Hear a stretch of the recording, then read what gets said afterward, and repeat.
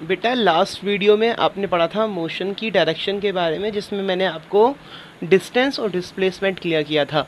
अब मैं आपको क्लियर करूँगा बेटा मोशन यूनिफॉर्म मोशन कि यूनिफॉर्म मोशन जो है, वो होता क्या है? यदि हम यूनिफॉर्म मोशन की बात करते हैं यूनिफॉर्म मोशन का मतलब होता है अ बॉडी यूनिफॉर्म मोशन मतलब क्या होता है?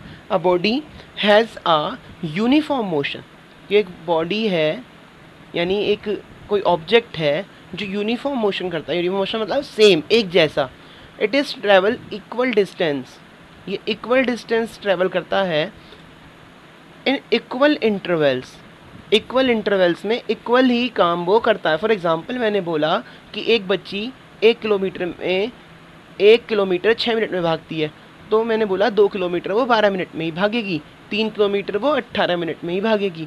यानी उसकी स्पीड हमेशा सेम रहेगी। तो यदि मैं ऐसा बोलता हूँ तो मैं इसको यूनिफॉर्म स्पीड बोलूँगा।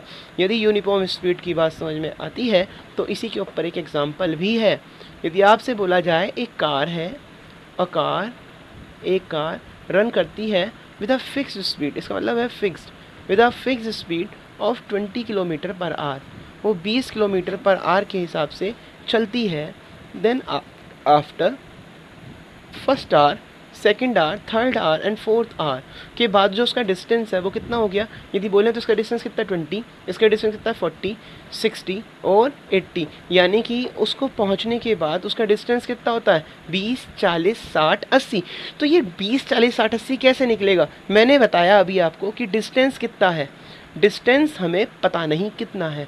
टाइम कितना है मेरे पास? आप बोलोगे कि टाइम है one two three four okay तो उसकी स्पीड कितनी है? वो बोलता है ट्वेंटी किलोमीटर पर आर यानी उसकी स्पीड कितनी है? Twenty kilometre so distance is equal to क्या हुआ बच्चों?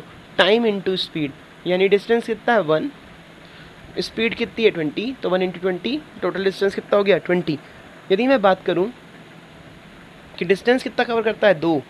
दो किलोमीटर का टाइम लेता है, दो घंटे का स्पीड कितनी? ट्वेंटी तो टोटल डिस्टेंस कितना हुआ? फोर्टी यदि वो तीन घंटे का टाइम ले तो तीन इंटू ट्वेंटी कितना हुआ? सिक्सटी तो यानी कि उसका टोटल डिस्टेंस कितना? है बीस, चालीस, साठ, अस्सी.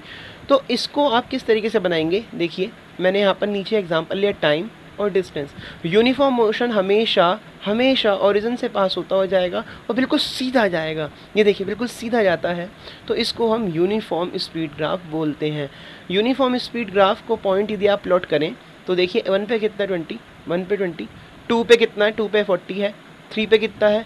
थ्री पे सिक्सटी है और फोर पे कितना है? फोर पे एट्टी है। तो इस, इसके थ्रू हमने पढ़ा कि किस तरीके से, इसके थ्रू हमने पढ़ा कि किस तरीके से ग्राफ को हमने शो करके दिखाया। बात आती है कि यूनिफॉर्म स्पीड कब कब होती है? यूनिफॉर्म स्पीड होती है the movement of earth around an axis धरती सूरज के चारों ओर घूमती है और अपनी मूवमेंट के लिए हमेशा अपने एक्सिस पे घूमती रहती है। तो इसको यूनिफॉर्म स्पीड बोलते हैं। इसी से डे और नाइट होती है। आपको थोड़ा सा एसएसटी में पता हो तो एसएसटी में आपने पढ़ा होगा रोटेशन और रिवॉल्यूशन रिवॉल्यूशन कब होती है? जब वो सन के चारों ओर चक्कर लगाती है, यानी 365 वन अपॉन फोर डेज़ और रोटेशन कितने डेज़ में होती है? रोटेशन 24 आवर्स में, यानी कि एक दिन में पूरी हो जाती है.